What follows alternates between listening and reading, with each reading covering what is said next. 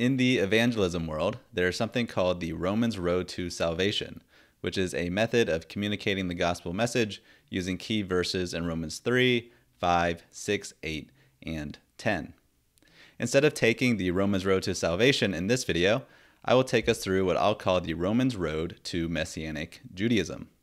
We'll visit Romans 1, 2, 3, 9, 11, and 15 to see why we, a collection of Jewish people living out our shared faith in Yeshua in an identifiable and recognizable Messianic Jewish community, are here.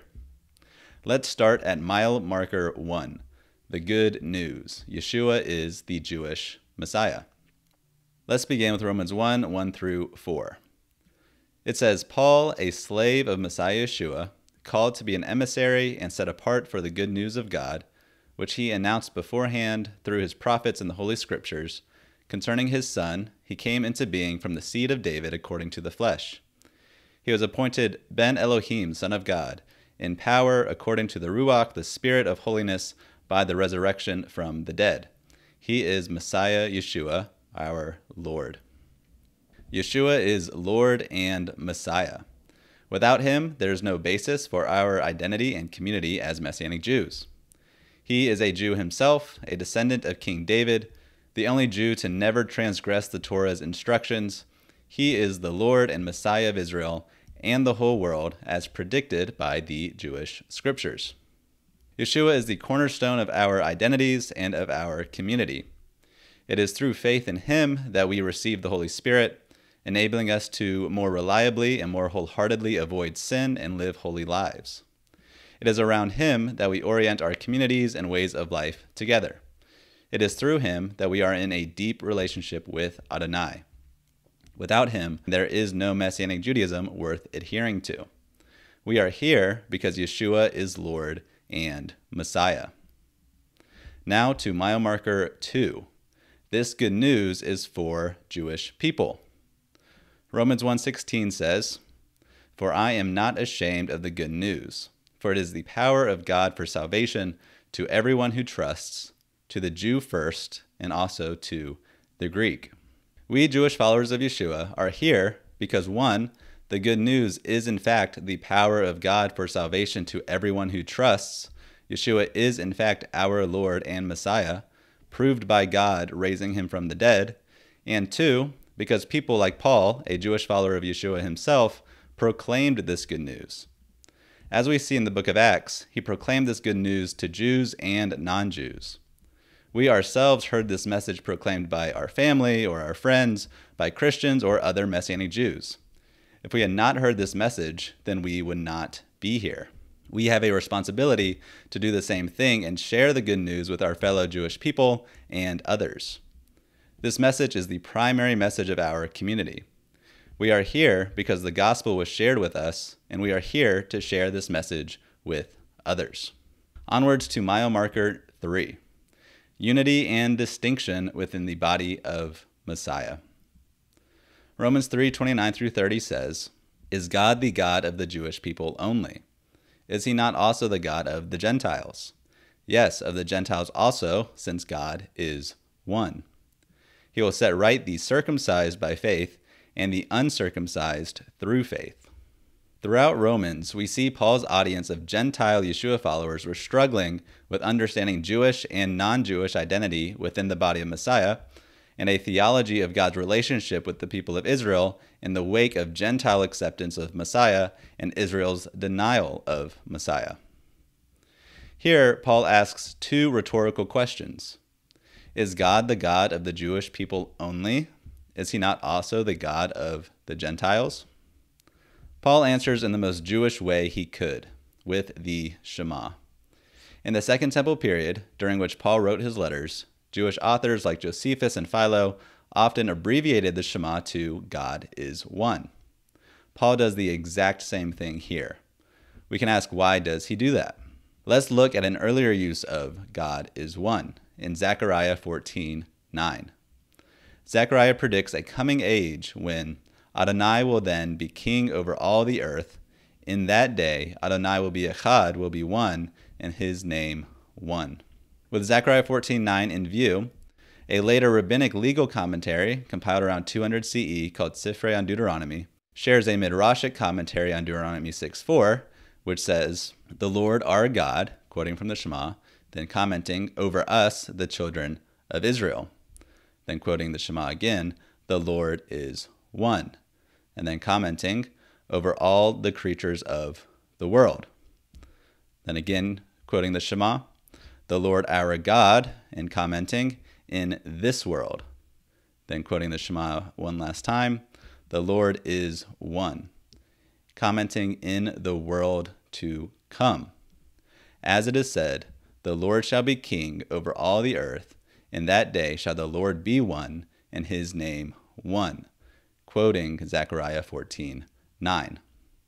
This Jewish tradition understands Zechariah 14:9 as saying, "When the nations turn from their idols to worship the God of Israel, in that future day, the Lord is one." This midrash is a Jewish textual analysis of a Jewish prophet's writings, looking with hope toward the day when all nations serve the God of Israel. But for Paul, this age has begun with the coming of Messiah Yeshua. God is one. And Paul holds that the sustained distinction between Israel and the nations showcases that God is the God of Israel and the God of the nations. Imagine this. If Jews shed their Jewish identity upon accepting Yeshua as the Messiah, that communicates to Jewish people that Yeshua is the Messiah of Gentiles only. If non Jews adopted a Jewish identity upon accepting Yeshua as the Messiah, that communicates to the nations that Yeshua is the Messiah of Jews only. But if upon accepting Yeshua as the Messiah, Jews remain Jews and Gentiles remain Gentiles, all Israel and the whole world will see that Yeshua is the Messiah of Israel and the nations. This logic extends to God Himself. If Jews and Gentiles remain Jews and Gentiles upon dedicating their lives and worship exclusively to the God of Israel, this communicates to the whole world that the God of Israel is the God of the whole world, and the God of the whole world is the God of Israel. Imagine what impact this theology would have on the world right now. So we understand now that here Paul uses an abbreviated form of the Shema, God is one, in a way much like earlier Jewish scripture and later Jewish tradition, in the context of recognizing an age when the God of Israel is the God of the Jewish people and the God of the nations.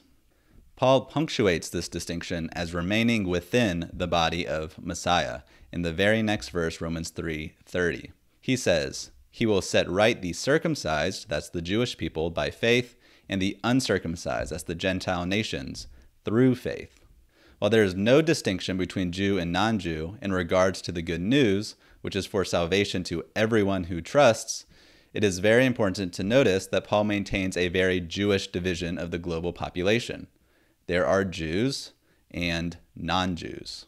While the gospel is available for all through the same means of faith in Messiah, Paul did not see this faith in Messiah as a faith that dissolves distinction between Jew and non Jew.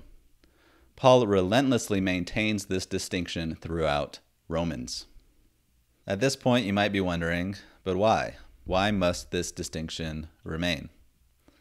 The simplest and what should be the most powerful answer is that this distinction must remain because God commands the distinction to remain.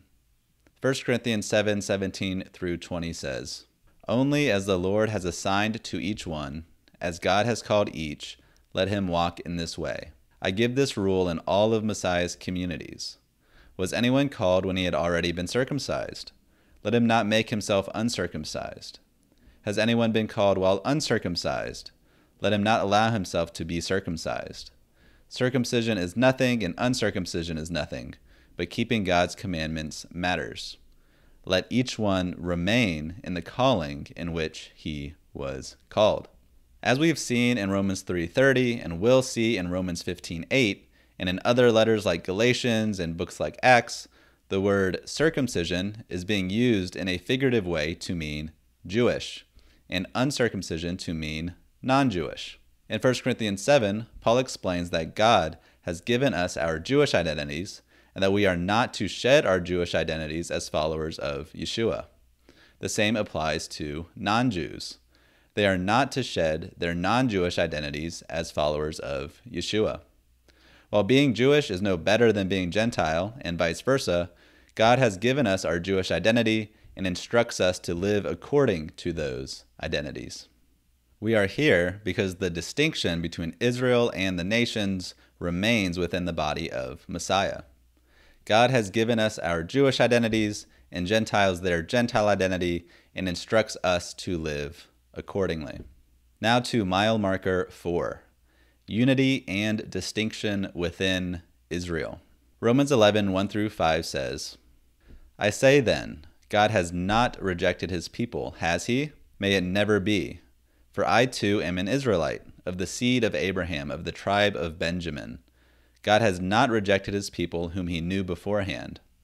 Or do you not know what the scripture says about Elijah, how he pleads with God against Israel? Adonai, they have killed your prophets, they have destroyed your altars. I alone am left, and they are seeking my life. But what is the divine response to him? I have kept for myself 7,000 men who have not bowed the knee to Baal. So, in the same way, also at this present time, there has come to be a remnant according to God's gracious choice. Paul begins by emphatically affirming God's continued faithfulness to Israel despite Israel's broad rejection of the gospel, and he emphasizes his continued Jewish identity and embeddedness in the Jewish community.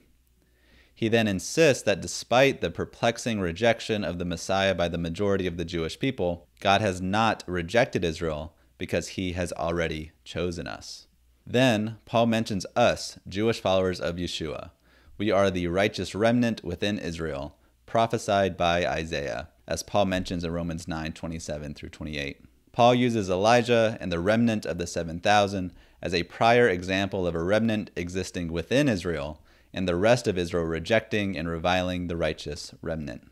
I believe the tension and rejection we currently feel with the majority of the wider Jewish community is the byproduct of God's plan to bring the gospel to the fullness of the nations and to save all of Israel.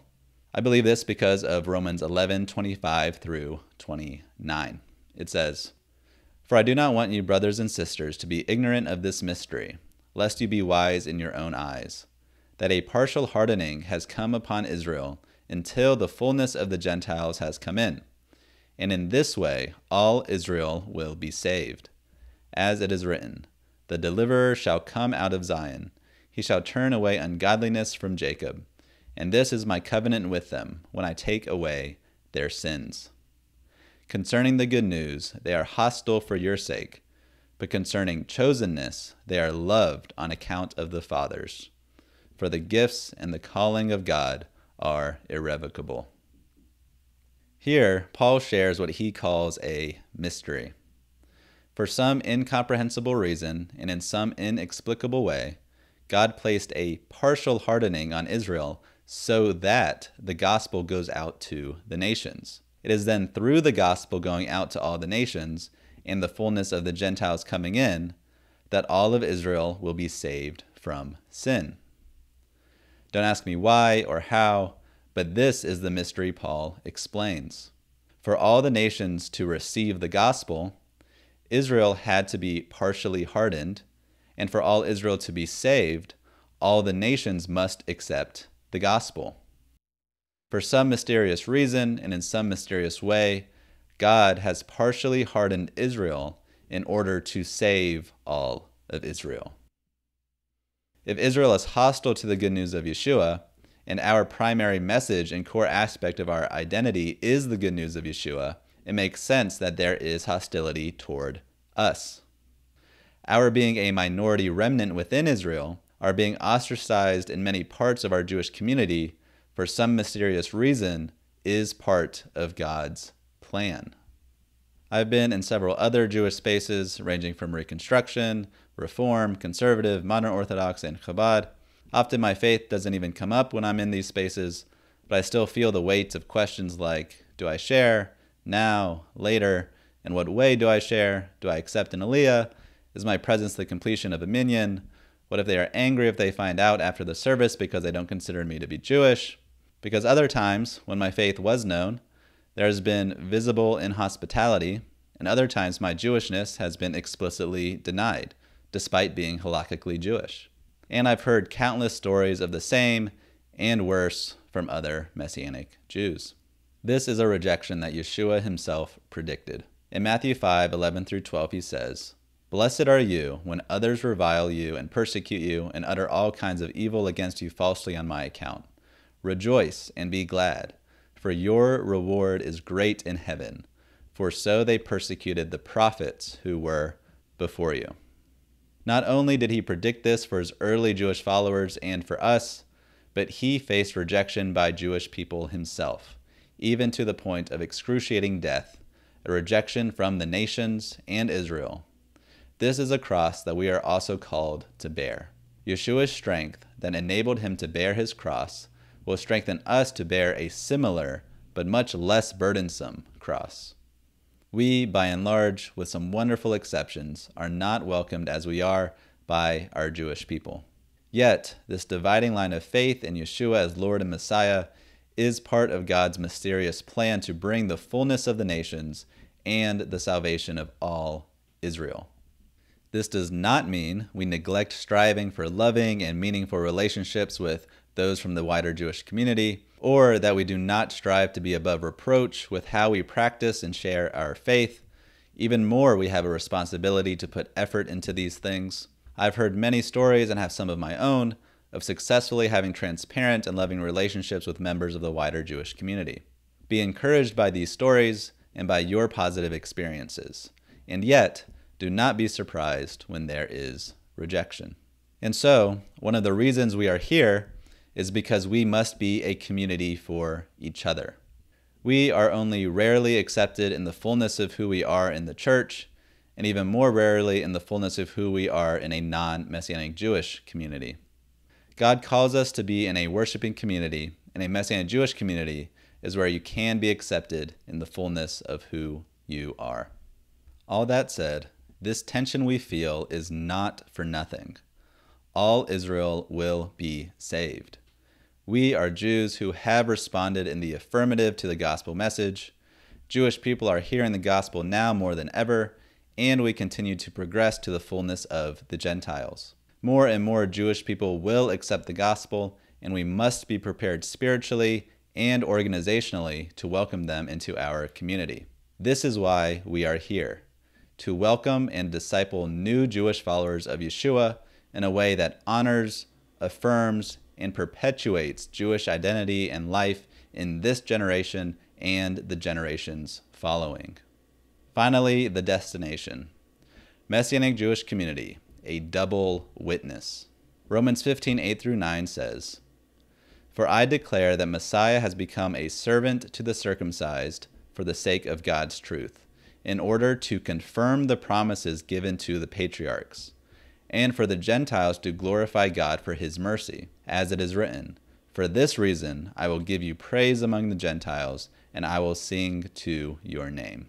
We are those visibly within Israel who have responded to the good news by placing our faith and surrendering our lives to Messiah Yeshua, wholly by the grace of God. As more and more Jewish people accept Yeshua as the Messiah, more and more the promises given to the patriarchs Abraham, Isaac, and Jacob are confirmed. As more and more Gentiles come to faith, striving toward the fullness of the nations, more and more will God be glorified for his mercy. The existence and partnership of the Messianic Jewish community and the church, the combination of which constitutes the body of Messiah, displays God's truth, the confirmation of God's promises to the patriarchs, and God's mercy on the whole world. Our unique position as members of the body of Messiah and members of Israel gives us a double witness to God's faithfulness to Israel and the Messiah's salvation of Israel and the whole world. Our being here in Messianic Jewish community, living out our faith in Yeshua through Jewish modes of worship and Jewish ways of life, make us recognizable in the body of Messiah as followers of Yeshua who are Jews and we are recognizable in the people of Israel as Jews who are followers of Yeshua the Messiah. We have a double witness. In the body of Messiah, we are a witness to the church that God remains faithful to the Jewish people. In Israel, we are a witness to the rest of Israel that Yeshua is the Messiah of all Israel. This double witness comes with difficulties, but this is why we are here. We are here because Yeshua is the Messiah, and we have been brought to faith in him by God's grace. We are here because the good news was shared with us, and we were welcomed into this community, something we must continue to do. We are here because a distinction between Jews and non Jews remains in the body of Messiah. We are here because, as part of God's mysterious plan, we have largely been ostracized from the Jewish community and not fully embraced as Jews by the church. We are here because we show God remains faithful to Israel and that Yeshua is the Messiah of Israel.